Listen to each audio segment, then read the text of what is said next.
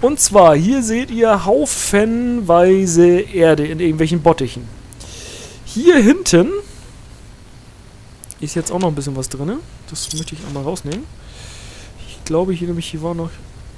Ne, da ist nichts unter. So, jetzt können wir nämlich erstmal Saat, die wir haben, reinsortieren hier. Das hat jetzt hier noch nichts gebracht, aber wenn wir jetzt sagen Plant Seeds, hat er jetzt hier irgendwo schon was gepflanzt. Jetzt ist nur die Frage, wo und was. Ah, hier hinten. Da hat er jetzt schon drei Sachen gepflanzt, die wir aufgesammelt haben. Weil jede Pflanze, die man irgendwie hat, kann man hier dann anpflanzen und äh, ja, das ist dann auch recht schick. Hier hinten aktivieren Door, machen wir erstmal mal zu hier und dann machen wir mal das Licht hier an in der Küche. Hier haben wir eine Coca-Cola-Maschine, ein Fridge haben wir hier. Hier oben äh, sind dann zum Beispiel nachher Getränke. Ich glaube, das hier ist hier auch noch äh, Food Storage. Genau, das war die Geschichte. Hier unten haben wir dann auch noch Sort Food, Stock Food, Beverages, weiß ich ehrlich gesagt nicht, was das übersetzt heißt, aber das muss irgendwie sowas wie Fast Food heißen oder sowas in der Art. Hier oben hat er uns jetzt schon ein paar Getränke hingestellt, die wir dann später auch noch haben werden. So, kommen wir, aktivieren Light Switch, machen wir hier mal an. Und den machen wir auch an. Hier haben wir so eine kleine nette Badewanne hier, wo das Wasser quasi aus unserem Goldfischtank reinkommt. Machen wir erstmal wieder aus. So, und dann kommen wir hier hinten zu den Companion Quarters. Die bringen uns momentan noch nichts. Man hat nachher mehrere Begleiter, kann man haben, von denen man immer so einen mithaben kann. Und äh, ja, die leben dann quasi hier hinten. So, jetzt habe ich ja irgendwann mal von der Waffenkammer ge gefaselt, die hier sein soll. Und die ist nämlich in, hinter dieser Geheimtür. So, machen wir die auf. Hier unten kommen wir nämlich jetzt zum interessanten Teil. Hier haben wir erstmal den Display Room, also das ist quasi unsere Trophäenkammer. Hier können wir zum Beispiel, äh, diesen Viechern können wir irgendwas anziehen hier an lustiger Sachen, die wir so gefunden haben. Äh, so, ähm, hier können wir Sachen ausstellen, irgendwelche wilden Sachen. Hier können wir denen auch Waffen in die Hand drücken, das kennen wir ja alle schon vom Fallout, von dem Hideout, den ich da hatte. Systems Room, kommen wir dazu. Die Armory spare ich mir ganz zum Schluss auf. So, hier hinten haben wir nämlich den Reaktor. Der ist, nein, der ist nicht hier. Verdammt, wo war jetzt der Reaktor? Das ist äh, Teleportation Control Panel, genau. Dann haben wir hier unten nämlich eine, eine Virtual Reality Kammer haben wir hier unten, wo wir dann auch quasi, ja, ähm, XP farmen könnten, wenn wir denn wollten. Hier hinter ist der Reaktor, den gucken wir uns auch noch schnell an. Dafür muss man nämlich immer haufenweise Energiezellen haben, die dann hier irgendwo reingeschmissen werden und die er dann da reinbringt. Das möchte ich aber alles weglassen, weil diese Energiezellen zu sammeln ist immer so eine Sache für sich. Hier werden wir noch genug an Munition brauchen. Hier unten ist jetzt diese VR-Kammer. Die kennt man vielleicht auch schon aus, ähm, ja, aus, aus Fallout 3. Hier ist der VSCS, VSCSS Simulation Suite, die muss man anziehen dafür. Hier kommt dann der ganze Kram rein, den man sonst immer so dabei hat, damit man da quasi nur mit diesem Suit reingeht. So, und jetzt kommen wir zu dem Hauptteil, weswegen ich dieses gute Stück eigentlich haben wollte. Das ist nämlich die Armory. Sieht zugegebenermaßen noch nicht nach allzu viel aus. Aber hier hinten... Oh, schade, das Ding war jetzt schon offen. Naja, egal. Hier hinten hatte es nämlich ein... Und hier vorne hat es nämlich auch. Hier kann man es mal einmal zumachen. Normalerweise sollte das nämlich so aussehen, dass man hier gar nichts hat. Ist so ein bisschen doof, oder? Und dann kann man hier nämlich diese Geheimtür aufmachen. Und hier hinten sind dann nämlich unsere Waffen. So, hier sind die Energiewaffen zum Beispiel, die Laserpistole, die wir gefunden haben. Heavy Weapons. Das ist, der, ist die Flammenpatronewaffe. Heavy Weapons haben wir noch mehr. Rifles, Automatic Rifles und so weiter. Pistols haben wir hier zum Beispiel. Shotguns kommen hier ran. Da haben wir auch schon ein paar gefunden. Melee Weapons haben wir auch noch ein paar. Zum Beispiel den Baseballschläger und das Andere Dings hier, hier haben wir noch das Nudelholz und den, äh, den anderen, anderen Gedöns hier. Hier würde er quasi, können wir sagen, alle Waffen, die wir haben, soll er automatisch einsortieren. Hier würden äh, zum Beispiel Modkits reinkommen und hier kommen äh, Sachen rein, die aus irgendwelchen anderen Mods sind, mit denen er nichts anfangen kann. Hier haben wir zum Beispiel, huch, Sekunde, Crafting Supplies können wir hier einsortieren. Hier sind dann so alle möglichen Krams drin, mit denen wir dann Sachen bauen können. Wenn wir hier drauf drücken, Ammo-Kram, mit dem wir dann quasi Ammo bauen können. Lead haben wir nichts drin, Primer haben wir keins, Power Cases haben wir ein paar, nämlich die, das sind die Hülsen. Primer, das sind Zündplättchen. Powder, Powder ist, ist klar, das ist, ist das ist Sprengpulver, was man dann da benutzen kann. Lead ist Blei. Und Scrap Metall ist eben Altmetall. Hier haben wir den Ammo-Sorter. Da können wir unsere gesamte, ja, unsere gesamte Klamottage können wir da einsortieren. Kennt man ja auch schon aus, aus äh, Fallout 3 die Geschichte. Das hier ist unser Munitionseinsorter. Sort into Containers. Stock Shelves. Jetzt müsste hier eigentlich irgendwas auftauchen. Wahrscheinlich eher nicht, weil... Ich glaube, wir hatten nämlich alles oben reingekippt, oder? Ja. Das heißt, wir gehen fix nach oben, holen den ganzen Kram, den wir da oben reingekippt haben. Und dann können wir das hier nach unten bringen. Und die ganze Munition, die wir dann quasi immer nicht brauchen. Äh, Open Container. Alles mitnehmen. Open Container, das nehmen wir auch alles mit. Alle nehmen.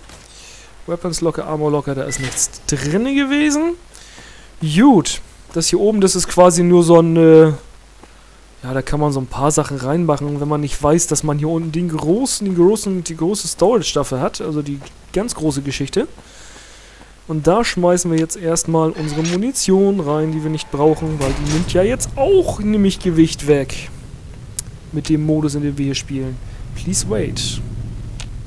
Please wait it immer noch. Evolution stocked. So, jetzt müssen wir das hier wieder reinsortieren. Und Stocks Shelves. So, hier hat er jetzt schon ein paar. Da ist er Flammerbrennstoff zum Beispiel. Hier hat er die Minen hingepackt. Dynamit haben wir schon ein bisschen was. Hier hat er zum Beispiel diese, ja, die 5,65 mm äh, Dinger hat er hier reingeschmissen. Hier haben wir die 308er Rounds haben wir hier. Und jetzt würde ich sagen, rüsten wir uns aus unserer Waffenkammer erstmal mit einer schicken Ammo aus. Äh, mit einer, mit einer schicken, äh, würde sagen, wir versuchen es mal mit Medium, da haben wir nichts drin. Dann nehmen wir Light Armor. Jetzt können wir uns nämlich aussuchen, was wir da nehmen wollen. Ich würde sagen, wir nehmen hier wieder die... Was nehmen wir denn? Lederrüstung nehmen wir mal mit und die nehmen wir auch mit. Können wir raus verlassen. Ziehen wir die mal an die gute hier und reparieren die dann auch gleich mit jener hier. Und jetzt suchen wir uns eine schicke Waffe aus. Ich würde äh, irgendwas sagen, irgendwas mit 5,65 mm Schussmunition. Add Remove. Jetzt können wir sagen, was brauchen wir denn hier? Magnum Revolver 357er. Ja, dann nehmen wir keine Pistole mit, dann nehmen wir lieber eine Rifle mit. Add Remove Weapons. Wir nehmen das Dienstgewehr mit. Das gefällt, gefiel mir nämlich recht gut. Das verschwindet da oben jetzt wieder. Und dann können wir sagen 5,65 mm Munition, die haben wir jetzt hier. Und dann nehmen wir die einfach mit. So, dann haben wir die jetzt hier nämlich drinne. Und hier drüben ist nämlich die andere Munition von der 5,65. Die nehmen wir dann auch mit. Wenn wir jetzt noch andere Munition bräuchten, könnten wir jetzt einfach hier zugreifen, was wir gerade einsortiert haben. Alles schick. Gut, machen wir die Geheimtür erstmal wieder zu. Momentan haben wir da nicht mehr zu tun. Und jetzt würde ich sagen, rüsten wir uns mit dem Dienstgewehr aus. Jetzt sind wir wieder schön. Haben wir kein Gewicht mehr dabei, ist doch einfach herrlich. Munition, Überschussmunition nehmen wir mit. 196 Schuss haben wir extra, 20 Schuss haben wir so dabei. Ich würde sagen, der Underground Hideout wird unser neues Zuhause. Das Ding ist einfach herrlich. Man kann später auch noch andere Gebäude haben, die finde ich aber bei weitem nicht so praktisch wie dieser schicke Underground Hideout. Ist doch einfach herrlich, das Teil, oder? Ah, hier ist übrigens auch, äh, ne? Scheißhaus gibt's übrigens auch, wollte ich nur noch mal so sagen. So. Ja, ist doch schick. Hier, die Dinger kann man übrigens auch auf und zu fahren, wie man gerade lustig ist. Genau wie diese hier. Die kann man auch auf und zu fahren. Und jetzt wächst hier fröhlich unser Kram irgendwann. Und irgendwann werden wir das ja auch alles bepflanzt haben, schätze ich mal. Gut, ich würde sagen, wir nehmen jetzt noch ein bisschen Wasser mit. Und äh, dann können wir eigentlich Chemistry, neues Gemisch erstellen. Äh, chemische Verbindung, ein Tag. Okay. Achso, hier können wir, das kann ich auch noch mal zeigen. Sort rein und dann stocken. Also einsortieren tut das hier und wenn man sagt Stock, dann packt das hier rein. Hier haben wir jetzt schon gesehen. Hier sind jetzt einige Sachen drin und die kann man sich dann rausnehmen, was man gerade so braucht. So, machen wir erstmal wieder zu. Ich möchte ein paar... Ach, da ist ein Stealth Boy ist da noch drin zum Beispiel. Blutpakete haben wir hier drin, die sind aber auch gerade Wurst. Machen wir erstmal wieder zu. Hier hinten ist Medex drin, zum Beispiel. Da. Hier haben wir Cat Eye haben wir drin, da kann man nachts im Dunkeln gut gucken. Hier könnten wir uns jetzt komplett mit feilen, äh, mit, mit heilen lassen. Feilen. Ja, und das ist unser neuer Underground Hideout. Hier steht dann später auch noch ein Gehirnstück von uns. Und äh, hier kommen noch zwei weitere Karten ran. Das ist aber eine Erweiterung. Zu der werden wir dann später auch noch kommen. So, und da ich Hunger habe, würde ich jetzt sagen, mache ich an dieser Stelle einen kleinen Schnitt und wir sehen uns nächstes Mal wieder. Tschüss. Ja, hallo, und da bin ich auch schon wieder. So, ich würde sagen, wir werden jetzt äh, mal mit der Hauptquest weitermachen. Das war ja hier diese schöne Aufgabe, die uns gerade eingeblendet würde. Hier, diese nämlich über Nipten nach Novak reisen, sich in Novak nach den Eingreifern umhören. Das werden wir jetzt mal weitermachen. Und zwar ist Novak ist nämlich auf der Weltkarte zu finden. Äh, hier unten, da ist Nipton und ich glaube hier hinten war, da ist Novak. Und wir müssen erstmal wieder nach Prim. Gut, wir müssen da natürlich erstmal auch wieder raus. Wir haben genug Munition dabei, hoffe ich. Wir haben auch nicht allzu viel geladen. Jawohl. Lederrüstung, Waffen, Dienstgewehr haben wir dabei. Aufbereitetes Wasser haben wir ein bisschen dabei. Und wie geht's uns sonst so? Durst hält sich in Grenzen. Hunger hält sich in Grenzen. Müdigkeit auch. Sehr schön. Ja, das war leider ein kleiner Grafikfehler beziehungsweise kein Grafikfehler, sondern ein klein, kleiner Fehler in diesem Mod. Wenn man nämlich zu schnell versucht, durch diese Tür durchzugehen, dann öffnet sie sich einfach nochmal. Gut, da kann ich aber mit leben. Das ist der einzige Fehler, den ich da jetzt so gefunden habe. Dass das Aquarium nicht mehr aufging letztes Mal, was ich da in meinem anderen Spielstand hatte. Das denke ich mal, da war ich einfach zu, zu blöd, das wiederzufinden. So, und jetzt müssten wir erstmal wieder nach Prim. Canyon Wrack, da würde ich ganz gerne auch nochmal nachgucken. Feinde in der Nähe? Wie, was, wann, wo? Und ich mal warum.